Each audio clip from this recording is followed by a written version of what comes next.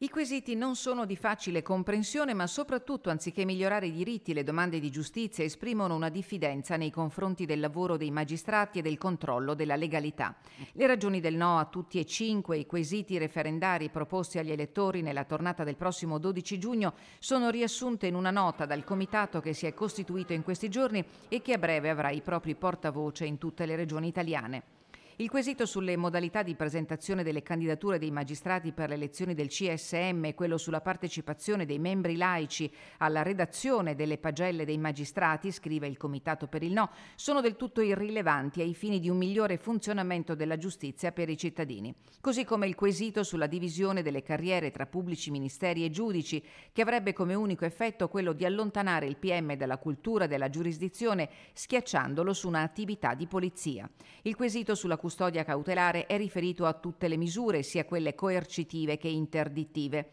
Secondo il Comitato per il No, si tratta di un quesito ingannevole, dato che esclusi i delitti di mafia e quelli commessi con l'uso delle armi, l'effetto sarebbe quello di impedire la custodia cautelare non solo per chi ha commesso reati gravi, ma anche l'allontanamento dalla casa familiare del coniuge violento o il divieto di avvicinamento ai luoghi frequentati dalla persona vittima di atti persecutori. Infine, il quesito sull'abrogazione della legge Severino. Il Comitato per il No è contrario all'abrogazione dell'intera disciplina che riguarda la decadenza e l'incandidabilità degli eletti condannati con sentenza definitiva a una pena superiore a due anni.